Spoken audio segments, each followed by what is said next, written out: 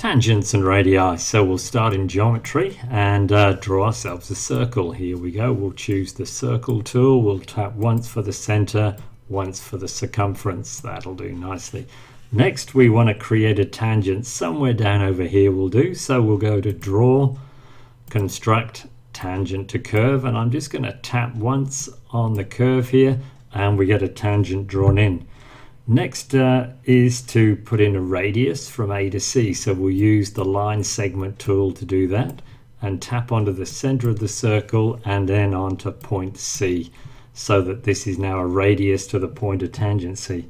Right off to the measurement toolbar and let's measure how large is the angle between the tangent and the radius and it's saying 90. If we tap onto this icon it takes a copy of the angle out onto our work surface. We can move it um, down a bit if we want and pop it there.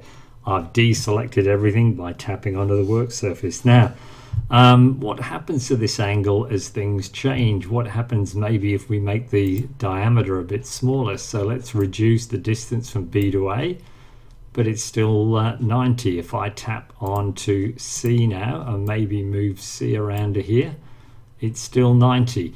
And um, this is maybe worth uh, where we could learn some basics of animation. If we've got a path, such as this circle, and C, which is a point, then by choosing the point and selecting the path and tapping onto Edit, Animate, Add Animation, and then Edit, Animate, Go Once, um, ClassPad now animates the point around the path for us and that was fairly easy to do but you'll notice the angle between the radius and the tangent is staying at 90 degrees.